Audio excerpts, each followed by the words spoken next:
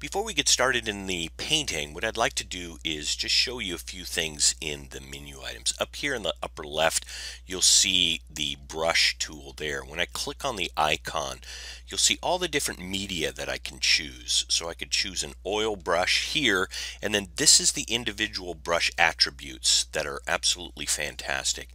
Corel Painter does a really good job in mimicking natural media. And so you'll see your toolbox here, if you go all the way over here to menu, you could go to layout and this is something that I would consider looking at is the different types of work that you do. They have different layout workspaces for you to consider. I've created my own kind of custom workspace where I like things. I'm right-handed so I have my custom toolbox down here that I use a lot with some of my also buttons for saving and drying my digital water so I don't have to go to the menu items. This is brilliant. The color wheel, your hue is here and then you have your saturation and then you have your tint and then your shade and then this is where it's as if you're adding the complement and you're neutralizing the color. So it's desaturating it quite a bit. I love this because I can see it all at once and and get going. Uh, I don't use a lot of layers but I do use layers for effects when I go to texture and things like that. But the layer I have the layers exposed here so I could see them and then I flatten them quite a bit as I'm working. Uh, also, you could choose different papers, um, but that's getting a little bit more advanced. And why don't we go ahead and get into the painting now? So the first thing I do is I cover the entire canvas with uh, digital water, new simple water, and I'm just blocking in. So I'm just looking at values just like I would in traditional media.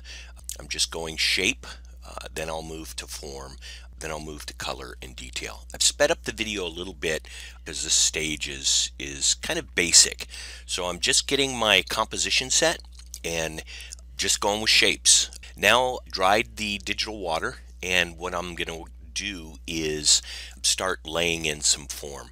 There I just increased my values a little bit by copying what I had done, put it on another layer, and then hit it with a multiply layer function. But as you can see, I'm just going shape, form, color, detail. I'm using my constructing glazing brush right now in order to get some form. So I'm considering my light side and now I'm gone back to digital water and glazing in um, some basic color. So really at this first stage it's it's rapidly paced. I'm considering shape, form, color, detail or actually not detail yet, uh, that comes in the latter stages. I'm just trying to set up the composition, color, and the mood. And I'm bouncing primarily back and forth from digital water, then drying it, then going to my glazing brushes, both my stencil pencil brush and my constructing brush. And then, as you see, I'm starting to develop a little bit more of the temperature and I'm going to continue this process now with with opaque media. Um, and again, it's it's very intuitive. This is exactly how I paint in the landscape when I'm painting at the beach uh, with my oils trying to create a lot of uh, movement uh, in the water. And again, this is still the preliminary stage. I don't really feel like I've gotten into detail yet but I like where the painting's going. I like the temperature, and that's again the beauty of the digital media is you could set your your temperature and uh, of both your light and your shadow. So now I'm going into brushes. I'm using some oil brushes to create a little bit more texture. And so this is the stage where I like where it's going. I'm satisfied with what I've what I've done in the preliminary stage uh, and I consider it worth taking to finish. Again, just like traditional media, you know, if I'm not happy with a painting in about 30 to 40 minutes, you wipe it down and you and you start over. And I'll uh, I'll play with some oil brushes uh, at this point. Some of my favorites are the Real Flat Opaque. I like that brush a lot. I'll also come in and start to use some of the blenders uh, here in just a minute.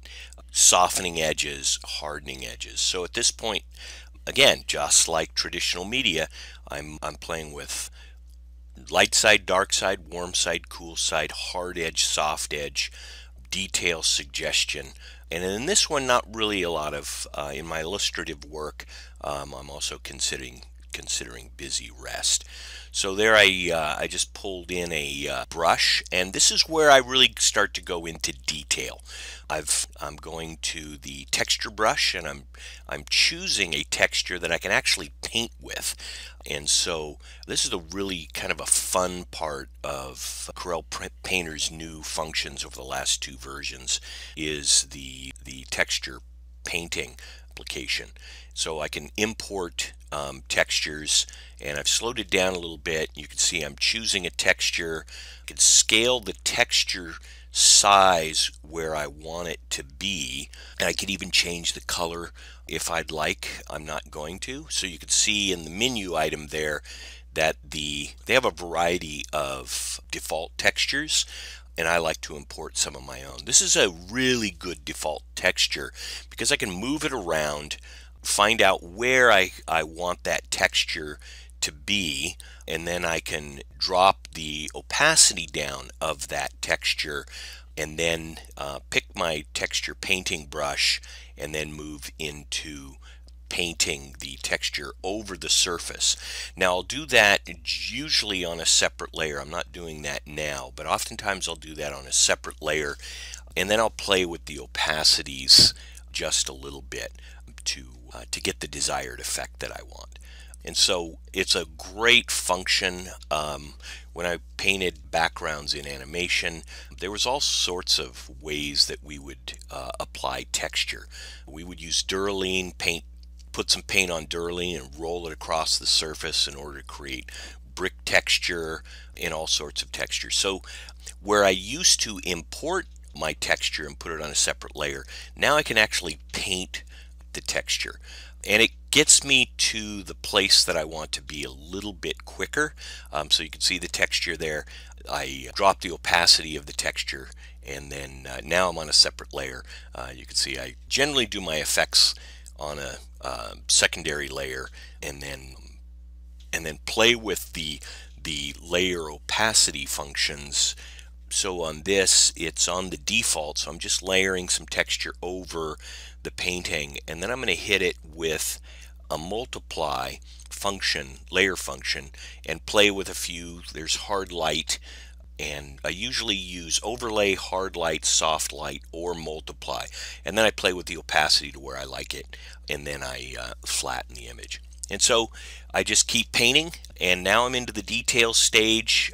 I really like a lot of the uh, texture that I've laid, laid in, and we've moved forward a little bit on the painting. Now I'm uh, reinforcing some of my shadow sides, playing with the detail of the foam in the water maybe add, you know, a lot more of the cool bounce light uh, that we would get in the rock. Uh, and this is where I just really have fun painting. So this is this is that stage in an analog painting where you just kind of slow down a little bit and you just give it character. Uh, all the rocks, uh, the waves, the water. I threw a little tiny little orange Garibaldi fish in there under the water. You can't you can't tell it's a Garibaldi fish, but that's what I was thinking. And so Corel really allows me to work in a way that I work with traditional media. It was one of the things that I resisted digital media for quite some time because I felt a lot of the paintings looked extremely sterile. And so I I just avoided it, especially for my professional work. It wasn't giving me the effects that I wanted.